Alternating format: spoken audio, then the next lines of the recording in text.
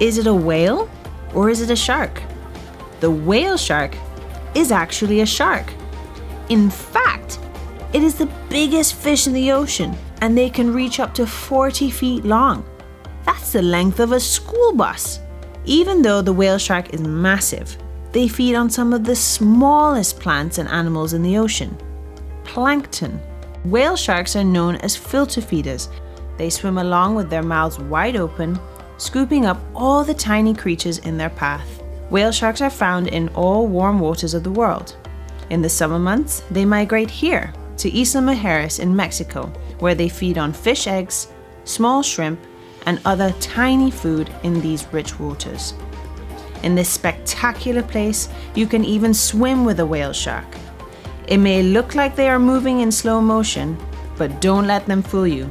It's actually really hard to keep up. Whale sharks are vulnerable to extinction. They are hunted in some parts of Asia, and their fins end up in the shark fin trade. They don't pose any threat to humans.